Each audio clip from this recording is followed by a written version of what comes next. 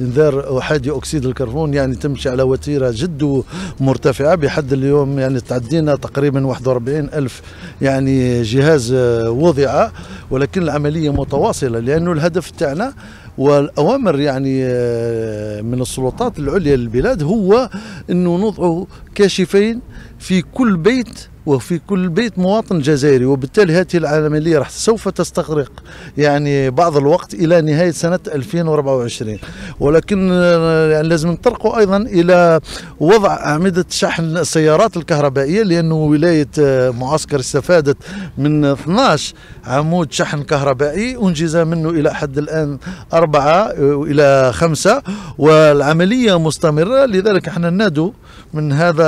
الملتقى يعني انه المواطنين باش يقتنيوا سيارات كهربائية لأنه الأعمدة موجودة وإن شاء الله والطاقة موجودة بكثرة.